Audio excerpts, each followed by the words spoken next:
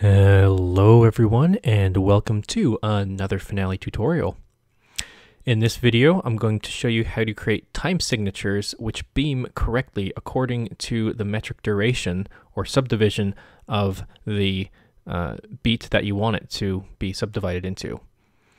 Uh, in other words, how to basically beam the time signature correctly.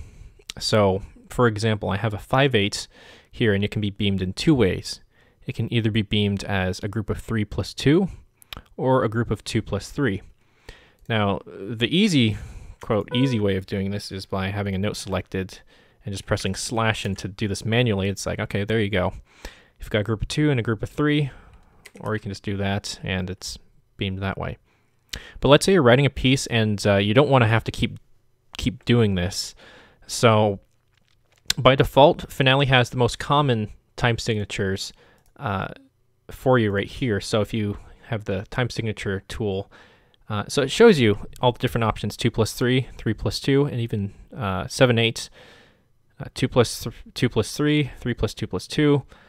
Um, so you have that there for you, and they're nice enough to supply you with this because uh, creating a 5-8 beamed correctly is uh, rather difficult, but uh, that's what this video is going to highlight. Now for this demonstration, I'm going to make a 9-8 and I'm going to subdivide it as such. I'm going to make it a group of 2 plus 3 plus 2 plus 2. So you have a group of 2, group of 3, group of 2, and a group of 2. Hope that makes sense so far. Go ahead and select on the time signature tool, select on the measure, edit time signature. Now, what you'll need to do now is go up to more options one thing to differentiate right here immediately. If you choose this more options, this dropdown will occur. If you have this box checked, use a different time signature for display. This is what is going to appear. This is the time signature that's going to appear on on score. But this is what's going to actually, you know, this will actually be the real time signature. This is the one that's actually uh, listed right here. You notice here that 5-8 is presented instead of 3-8 plus a, a, group of 1-4. Uh, that would be really awful to read. So this is what's going to be shown on the score, uh, the final score. This is simply how you make it look um, beam correctly. I hope that makes sense. So in here, we need to create a group of 9-8. So our first step is go ahead and on the bottom, click Composite, uh, I'm sorry, we need to uncheck this first. We need to create a 9-8 right here, so uh, we can be rather crude. Just go ahead and line up 9-8. Uh, there's multiple ways of doing this. You can, of course, uh, well, just keep it like that. 9-8, right there. Okay, so now we need to make sure it's beamed properly, and this is where things get a little fuzzy. Okay, so we have a group of a three right here, and we can't, unfortunately, put uh, time signatures right here. We can't have a group of three eight, three eight time signature, because it will won't beam pr properly. So this chart right here shows you the EDU, uh, essentially the note value equivalent. There's a number assigned to each note value, and this might look very familiar to uh, programmers. Uh, this is just binary and that's all it really is. So a quarter note equals 124 EDUs. So basically, if I want to have a a one four, I just would type 24 right there, and you see you have a group of one four. If I want two, I can do it two ways.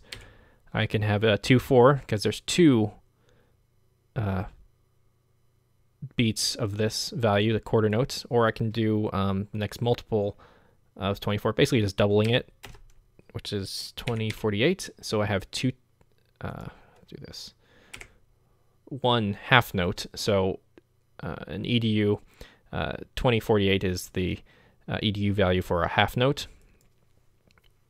Uh, an eighth note right here is 512. It's basically, well, it's half. So this kind of makes sense, right? So that's an eighth note. And then to get to a dotted uh, a dotted note, we'll need to add, like we would in music anyway, right? Add a uh, an eighth note with a sixteenth note. So we need to add 512 and 256 together, which gives us uh, 768. So to get a dotted quarter, 768. Uh, you see it right there. And the same thing applies to a dotted quarter. That's just a quarter tied to an eighth note. So again, add 1024 to 512, which gives us 1536. And there you have um, a, a 3-8 beamed properly right there. I know that's a lot of math, especially for, for doing this, but uh, if you're a musician, you're probably used to math. So this hopefully, you know, flexes yours those uh, math skills. But uh, let's get let's get to work on this. So we need a quarter note right here. So we need to do 1, uh, 10, 24. Okay. By the way, you can press tab to get to the what I'm doing here. I'm just pressing tab on your keyboard, and then you can just hold shift and tab to go backwards. Need a group of three, so that's going to be one dotted quarter, and as we see right up here, the value for that is 1536. We'll need another quarter and one more uh, quarter right there. Make sure use EDUs for beat duration is checked, otherwise this will look like a mess. So uh, make sure that's checked. Yeah. All right. Or I guess you could just do it like that. But uh, there you have that. Make sure 9.8 is displayed. This is going to be the underlying uh, beaming pattern. And go ahead and click OK. Oops, did I do something wrong? Let's try that again.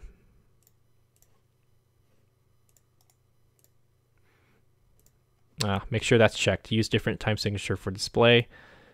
Uh, wonderful. Make sure to have that box checked. Let's just go ahead and fix this really quick. Um, that's four, three. Uh, we're close. Nine. Okay. Make sure that box is checked. There we go. Now it should work. So now, if I put it in there, that's how you get that. That was quite, quite a, uh, quite an excursion out there, but that's how you get uh, it to beam as, as such. And of course, you can, uh, you can beam them in all sorts of different ways.